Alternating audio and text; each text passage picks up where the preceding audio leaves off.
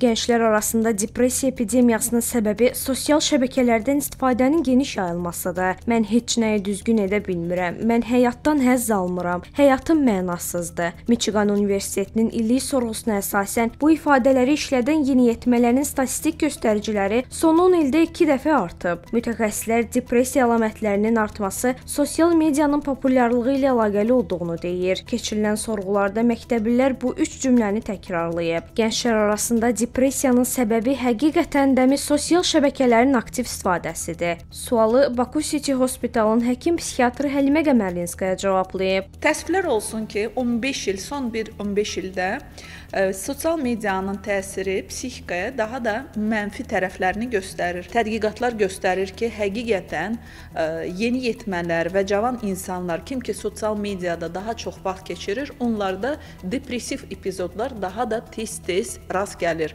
Niyə bu baş verir? Ona görə ki, sosial şəbəkə bizə bir tərəfdən ə, özünə güvən, kommunikasiyanı artıran, təması daha da asan qura bilərik kimlərlənsə, amma digər tərəfdən elə bir platformadır ki, biz özümüzü başqaları ilə müqayisə edə bilərik və təbii ki, həmişə kimsə bizdən daha uğurlu, daha gözəl, daha varlı, daha effektiv görsənə bilər bizə. Hətta elə deyilsə də belə.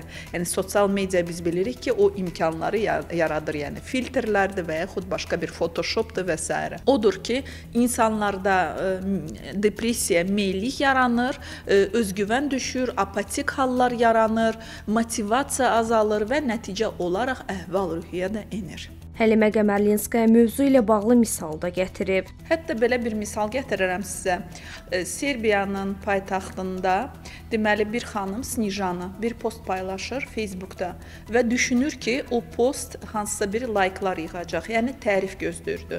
Və post həmin post onu o gözləndiyi kimi layklar yığmadığına görə psixozla ruhi əsəb xəstəxanaya düşür.